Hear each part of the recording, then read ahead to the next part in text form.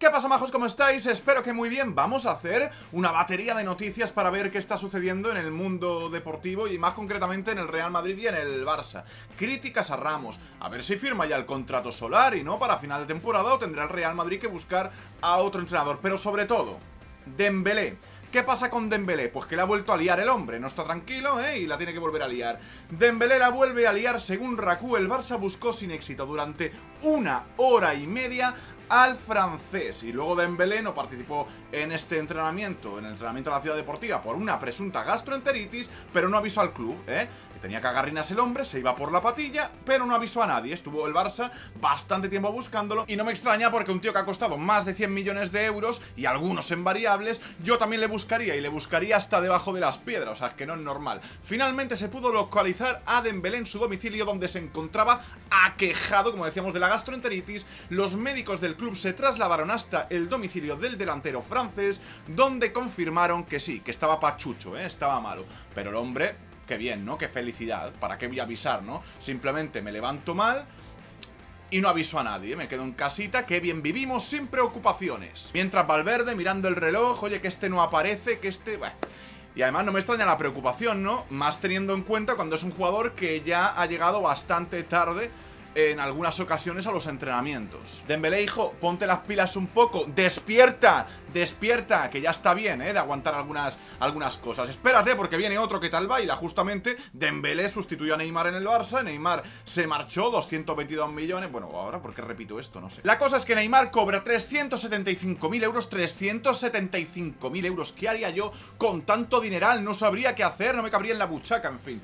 Por aplaudir a su afición. Aplaudir a su afición tras los encuentros es uno de los requisitos del Paris Saint Germain para que el brasileño Neymar cobre un bonus por su comportamiento ¡Ole tú! Claro, yo así también aplaudo, ¿no? Aplaudo hasta con las orejas, hasta con los pies Imagino que la afición del PSG debe estar contenta Mira, da igual que animemos, que no animemos Da igual, este viene a aplaudirnos porque cobra, ¿eh? No por lo que hagamos, no hagamos, da igual eso Vas a aplaudirme sí o sí porque te llevas 375.000 euros. Después de publicarse esta noticia, el Paris Saint Germain ha salido y ha dicho que la prima por respetar el código ético incluye más puntos, no solo el de aplaudir a la afición, sino la puntualidad en el trabajo, el respeto a los medios de comunicación, ah vale, o sea, por ser puntual y comportarme bien con otras personas, me dan un plus. ¿No es fantástico? Ojo porque también está en el punto de mira, en el ojo del huracán, el señor Sergio Ramos después de su codazo, sin expulsión, por supuesto, no hay bar en Champions, a Milan Havel, futbolista del Victoria Pilsen, Argentina, México, Gran Bretaña, la verdad es que bastantes críticas internacionales del periodismo mundial a Sergio Ramos, roja y a la cárcel, acción desleal de Sergio Ramos no sorprende. Han publicado diversas televisiones, opiniones, medios escritos internacionales y me hace gracia. Me hace gracia porque en España algunos periodistas están diciendo que hay una campaña contra Sergio Ramos. Una campaña contra Sergio Ramos. Vamos a ver.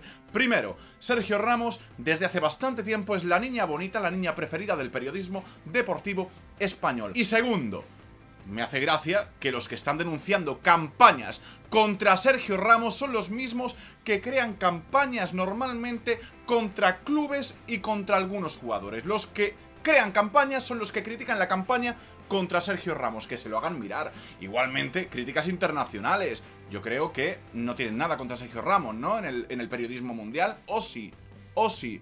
No, no, no son culés. No son culés, vale. Pero bueno, ya lo sabemos, ¿no? El malo siempre va a ser Luis Suárez.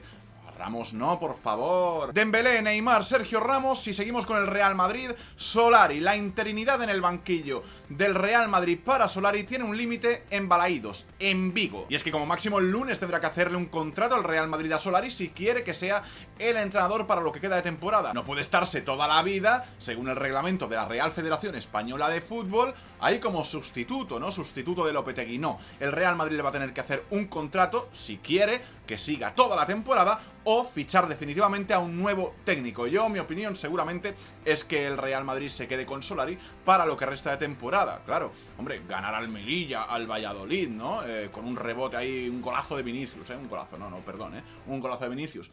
Y posteriormente ganar en Champions 0-5 al Victoria Pilsen, que es uno de los mejores equipos de Europa, dan crédito de verdad a Solari para que siga. no, ahora en serio. Yo creo que Florentino Pérez incluso la afición del Real Madrid tiene esa esperanza de que con Solari se repita la historia que ocurrió con Zidane. Llegó Zidane, se fue Benítez, tres Champions seguidas, estupendo. Aunque también os digo, no siempre va a sonar la flauta. En fin, majos, espero que os haya gustado el vídeo. Un abrazo muy fuerte. Nos vemos. Hasta la próxima. Que vaya bien.